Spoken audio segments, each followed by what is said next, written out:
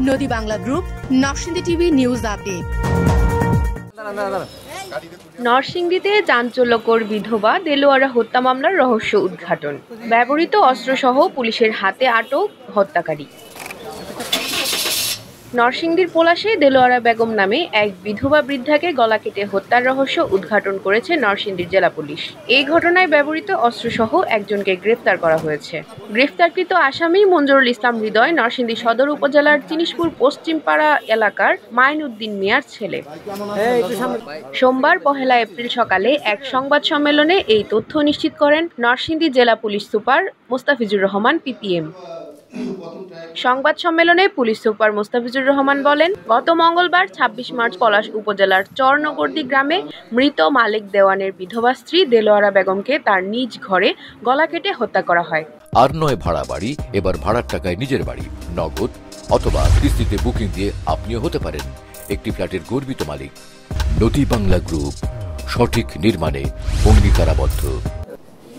এই ঘটনার পরপরই রহস্য উদ্ঘাটনে নামে জেলা গোয়েন্দা পুলিশ। পরে গত একত্রিশ মার্চ জেলার বিভিন্ন স্থানে অভিযান চালিয়ে তথ্য প্রযুক্তির সহায়তা হৃদয় নামের এক যুবককে গ্রেফতার করা হয়। গ্রেফতারের পর সেই হত্যাকাণ্ডের ঘটনাটি স্বীকার করে।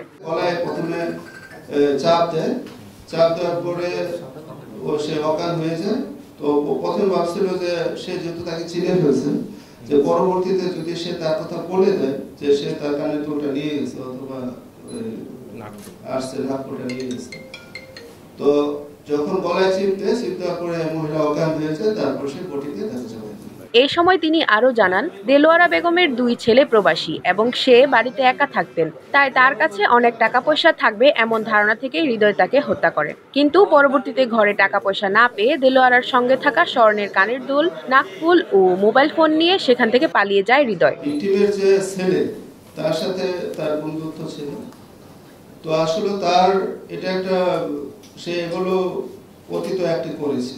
তো হত্যাকাণ্ড যারা হত্যাকারী, তারা আসলে হত্যা করার জন্য এটা হত্যা করেছে সে ভাবছিল যে হয়তো বা তার কাছে অনেক টাকা পয়সা আছে।